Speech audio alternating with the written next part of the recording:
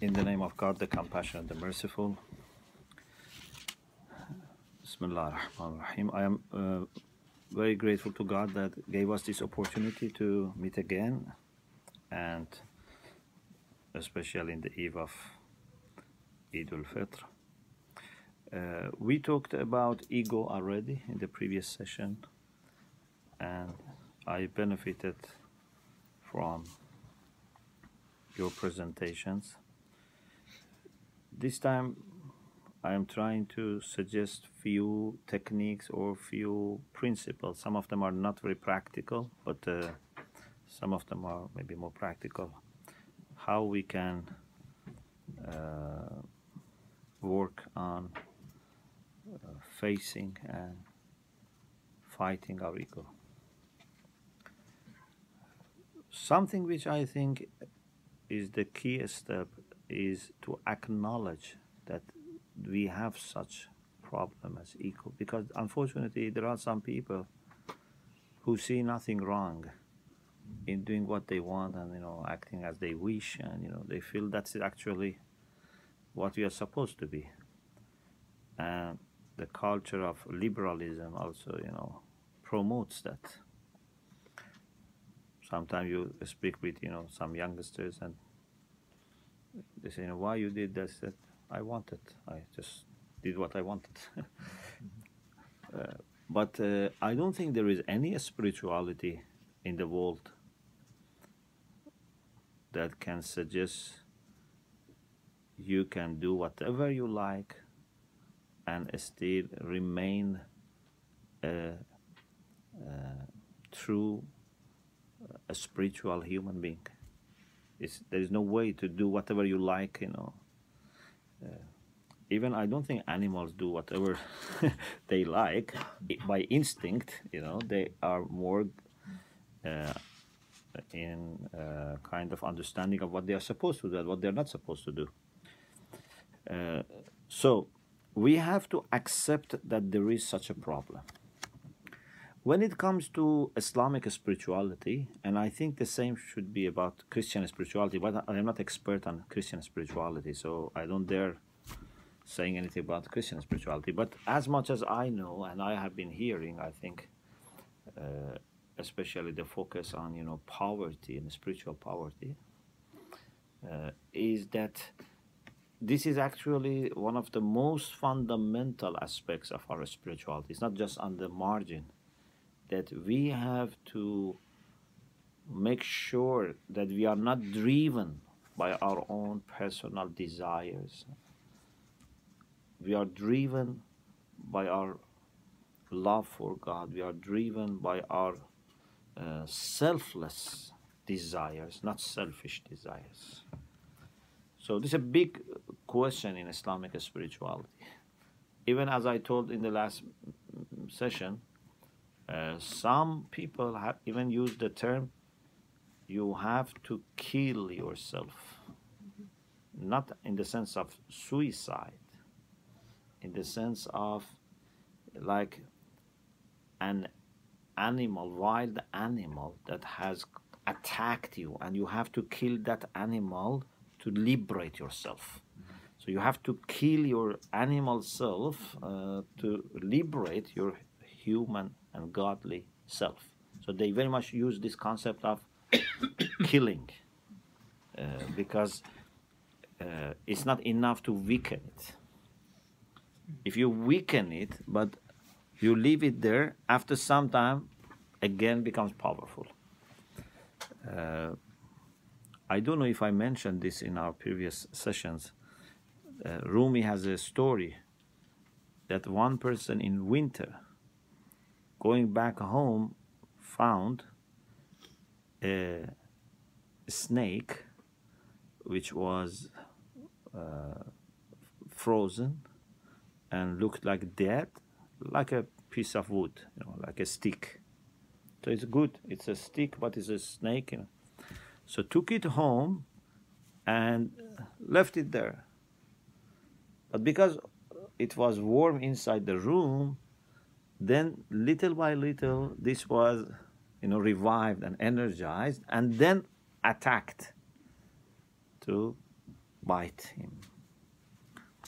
So Rumi says, نفس چون اجدهاست کی مرده است از غم بیالتی افسرده است He says your soul, your, uh, you know, means your um, unethical soul, is like a dragon, a snake, that because of having no means is now just, uh, you know, in a passive mood. But it's not dead. Don't think it's dead. When the means are there. So, for example, many of us are okay because we don't have power. If we have power, then we are different. Many times we see, for example, people who are in opposition. People even for freedom have gone to prison. But when they come to power, they repeat the same thing. Then they put other people in prison. uh, they were asking for freedom. Now they have freedom, but they don't want to give freedom to other people. Uh, why? It's not that they were not honestly asking for freedom. Yes, at that time they were honestly asking for freedom, but at that time their nafs didn't have the means. Now they have this power. Now their other side, you know, other face is coming to the front. Or sometimes we don't have money. But if we have money, for example, then we may start using the uh, money in excess or, you know, things like this. So, we have to acknowledge that this is a very, very big problem. And what we understand from Islamic uh, sources is that things can gradually be sorted out. So if, the ego has, you know, 10, 20, 30 branches, little by little you can cut these branches. But the very last branch of ego is what we call hubbul jah. آخر ما يخرج من قلوب الصديقين حب الجاه. The very last thing that goes out of the heart of the most truthful people is the love for position love not a position in the sense of being a manager means you want to have a position in the society you want to have a special regard mm-hmm.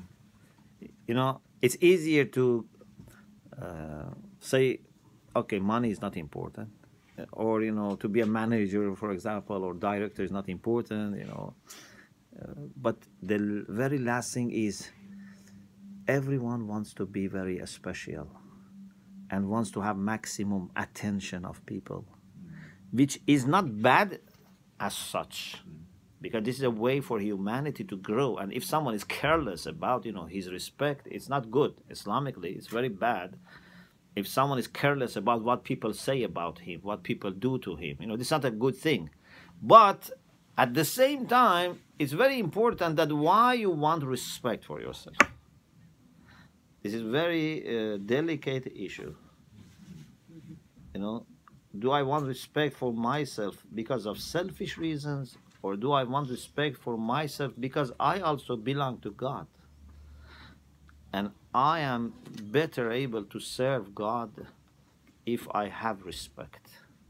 Many times we co- uh, cover the first by saying that we are doing this for the sake of God.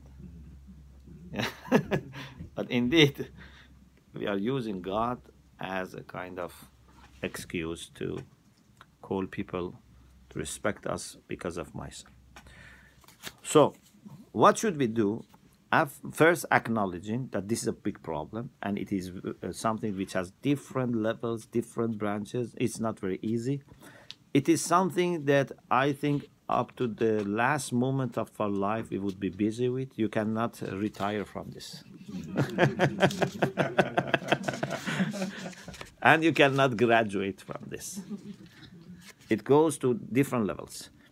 Maybe for some months you feel you have managed to overcome. But this is because things have been fixed. If you, new things happen, you see, no, still you have problems.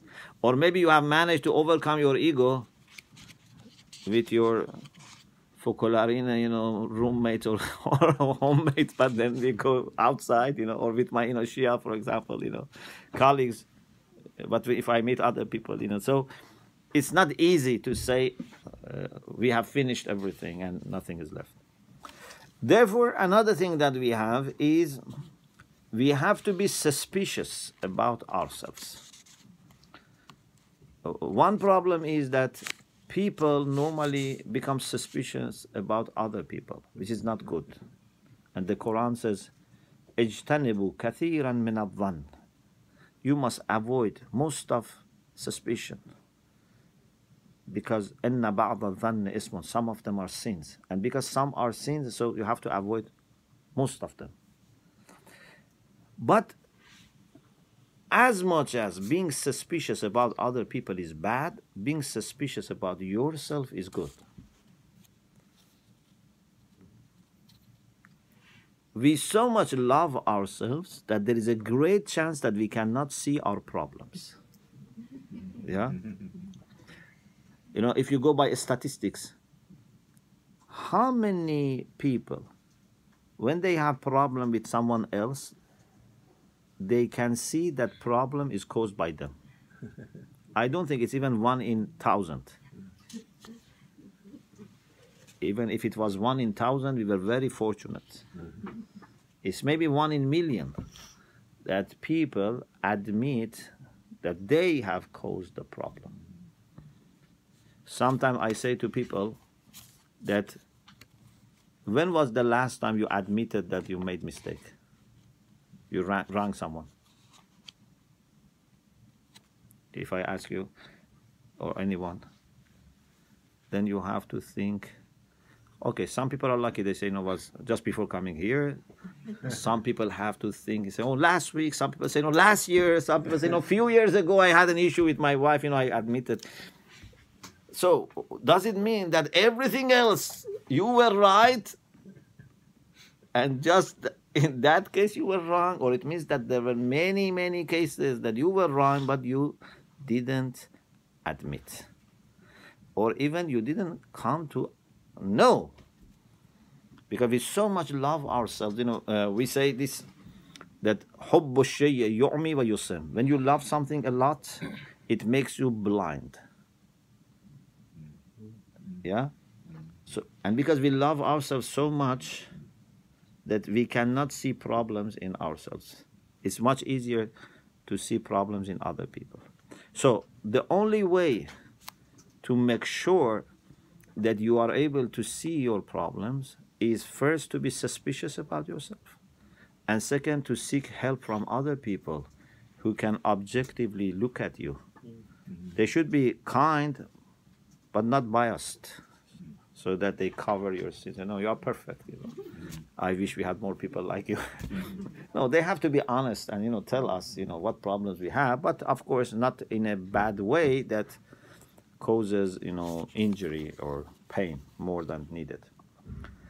So to be accepting that this is an big issue, to be suspicious about ourselves, not to go after our desires is very important. So if I am not comfortable with something, maybe actually that is where I have to try not being comfortable.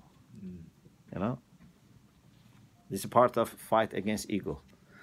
For example, we are few people, we travel. And then every two people should share room. Among them, I am more happy with this friend, for example not that friend. But actually, it's better that I say no. Now I want to stay with this friend because this is the one that I don't like that much. yeah? And many times, you know, your idea will change because many times we have not given people any try, you know, we haven't tried them, you know, give them chance, you know, to show themselves. One of the beauties of traveling together is you can better see people there is uh, something that our first Imam says about a brother in God that he had. And commentators have different opinions whom he's referring to. Some say he refers to the Prophet. Some say he refers maybe to Abu Dhar, a companion of the Prophet. We are not 100% sure. But the description is something that can be prescription. He says, he starts like this. This is in Nahjul Balagha. Kana li fi ma madha akhun fillah. In the past, I had a brother in God. So it shows that that person has, by that time, died. And he says beautiful things about that person. I mentioned some of them. كان خارجا من سلطان بطنه فلا يشتهي ما لا يجد he was free from control of his stomach in the sense that animal desires were not ruling him so he was not wishing or desiring for something that was not available yeah many times we want things which are not available وَلَا يُكْثِرُ إِذَا وَجَدْ And if it was available, he was not doing in excess. So sometimes I'm not happy with the food that I have. Sometimes I have it and do lots, you know, eat a lot. Both is problem. You should be content with what is available and use it, you know, reasonably. Food is just one example. There's lots of other appetites that we have. وَكَانَ أَكْثَرَ دَهْرِهِ صَامِتًا Most of his life he was silent. Because speaking too much is not good unless there is a reason. For example, you are a teacher or you are, you know, maybe. But in your personal life, it's good not to speak too much. But فَإِنْ قَالَهُ بَذَّ الْقَائِلِينَ But whenever he talked, he was benefiting and he was over other speakers. So he spoke very little, but his wisdom and knowledge were, you know, coming out. He was, you know, like quenching the thirst of people who ask questions. He looked a very weak person. You know, because sometimes people understand your humility as a sign of weakness. You know, there are people that unless you act as an arrogant person, they think you are weak. And they misunderstand, you know, humility. But these people don't stop being hum, you know, humble because other people don't you know, understand. They remain humble. But he says, when the time of seriousness comes, فَإِنْ جَاءَ الْجِدْ فَهُوَ لَيْثُ غَابٍ but when it was the time of challenge, he was like a lion. So in normal life, he was like a weak person. Mm. But when the ch- time of challenge, he was insisting and, you know, persistent. Then he mentions other qualities, like, for example, he was never blaming someone as long as there was a chance to find excuse for that person. So you should look for excuse for people, not just wait for them to bring it.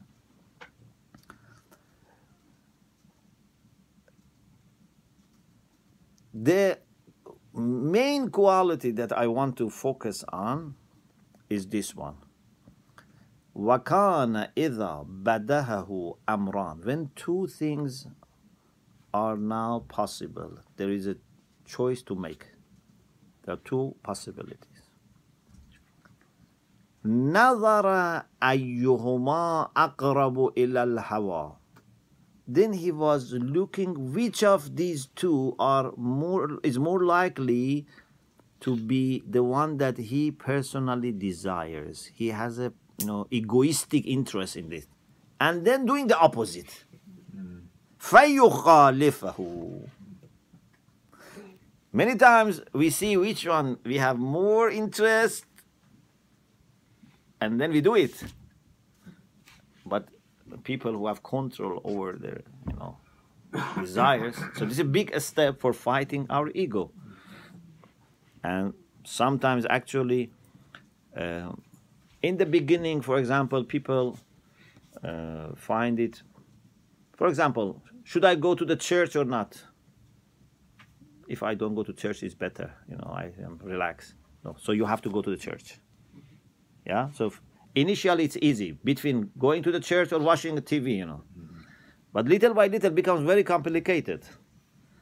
So it can be, for example, uh, going to the church or helping, for example, someone who is ill, for example, going to the mosque or, you know, of course, uh, we don't want to stop going to the mosque or church, but you have to understand.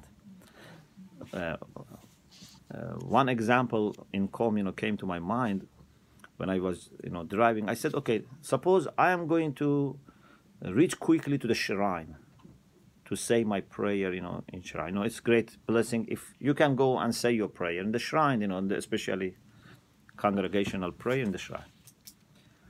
But then I see someone on the road, you know, need uh, needs lift. In here, it's not common that uh, other than taxis and Uber, you know, people ask for. But in Iran, uh, every car can give you a lift. Many times, uh, people do it freely, or sometimes, you know, they do it as a little job. So, but many times people do it so you can be a, a scholar, but you give lift to someone, you know, and you don't, of course, take anything. So I was thinking, okay, I am going to the shrine, and I am going to be delayed and miss the prayer if I want to give lift, for example, to a person. But on the other hand, you don't know.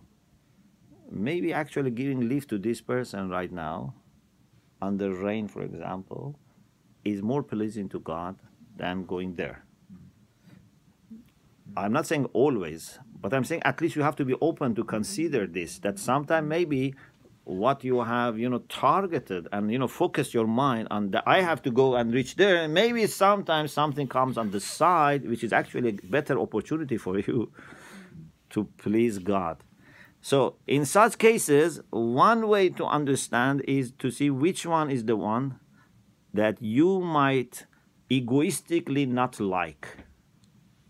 Mm-hmm. And for a religious person, there is a great chance that egoistically he may want to go to do that religious task. Not for ordinary people. Ordinary people, religion still is not that important for them. But for religious people, you know, sometimes this becomes the egoistic side. Anyway, it's very complicated. It's not something easy. So, another thing is that you cannot, I think, uh, fight against your ego in vacuum. 90% of problems with ego comes when we live with each other. Yeah? So if someone is in a cave just 10% of ego can get on his way. You know, when you are alone, okay, for example, you know, you wake up, you know, do this practice, do this, that, you know, don't damage, for example, you know, animal, do, it's just 10%, or maybe even 1%. 90% of ego comes between us when we are together. Uh, between you and God, you know, there is no chance of your ego that much coming out. But between you and people, so now we have to learn how to tackle our ego among ourselves. And here, patience is very important. And you know, many times uh, I think we have this great tendency towards solving problems. Yeah? But unfortunately, it seems that for spiritual issues sometimes to admit that you have to keep this injury. You know in physical injury you say okay doctor you know please help me. And sometimes say there is cure sometimes there is no cure we have to cut off. But in a spiritual problem sometimes all your life you have to remain with this injury or with this relation. You know always you cannot say okay i don't want to see you anymore the people that we have to live with them inside family, I don't know, community, they keep annoying you. And of course, maybe you are also annoying them. but there is no cure. Even you cannot say, we disconnect and we finish everything. No, we have to be patient. You know, sometimes uh, I was thinking, if there are people who are not, uh, you know, I'm not happy with them working together. I was thinking, you know, why I cannot, like any other manager, say, you know, I don't want, you know, you to come here and, you know, this is, for example, your right and finish. I said, why I keep myself, you know, so much in pain, you know, uh, I can finish this. But then I said, maybe this is your selfishness. Who are you to seek peace of mind? Why you want peace of mind? Maybe you have to have no peace of mind. Maybe you have to be a manager who has no peace of mind. So, you know, this is a very complicated thing. So we have to be patient. And one of the things that I think helps a lot is to be able to forgive people who wrong us. Your ego find it very difficult to pray for people that have wronged you. Uh, a few days ago, someone said something interesting. You know, we, uh, we have a rec recommended prayer. We call it uh, Salatul Layl.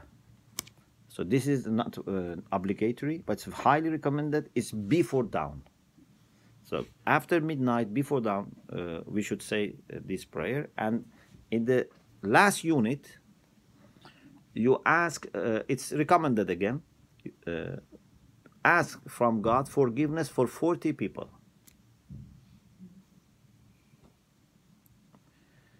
most of people what they do which is also maybe advisable is they choose 40 most pious people and ask god for forgiveness for them or uh, they include their teachers their parents you know which is very good but someone was saying something that was also good i say maybe we can do both make, make 40 80 He was saying, I should not ask forgiveness for 40 people who are very pious. I should ask forgiveness for 40 people who have annoyed me and have been hurting me. because if I ask, you know, God, you know, please forgive my father, mother, grandfather, you know, or this created scholar, okay, it's good, but doesn't have that transformative power that when you pray for the people that you are really angry with them. In any case, I always think praying for people that have wronged you is a kind of medicine actually for yourself. Because immediately raises your level to a higher level that you feel they are no longer a threat to you. Yeah? because we are in a position it means that i am able to treat them with mercy and kindness. This means that i am you know in a higher position than being just fighting. So praying for them forgiving them and patience. I think these are three important things that we have to observe. And if we have these three hopefully we can gain a quality which we discussed before fairness. Because fairness is quite opposite to ego. Fairness means that between you and someone else you don't take your own side. Ego means you take always your side. And we talked about this fairness in the past. So these are few points maybe not very practical uh, in a detailed way but i hope they are useful Thank you very much. Alhamdulillah. Thank you.